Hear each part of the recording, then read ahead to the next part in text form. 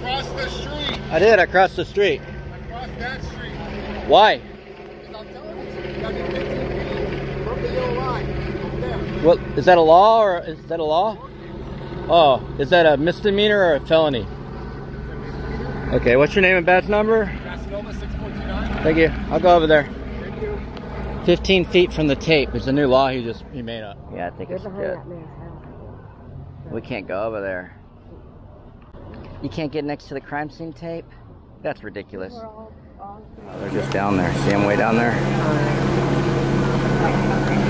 think we got him under arrest. I think we had to have a better view on the other end of this block, actually. Yeah, zip tie or something. Okay, you're right. I'm blind. He's actually a good dog. All right. You all be careful. All right, Cassanova, I'm gonna look up that little code you were talking about. You happen to know the code number? It's a city ordinance. Yeah, that's not very gonna hold up very well Oh, against the Constitution.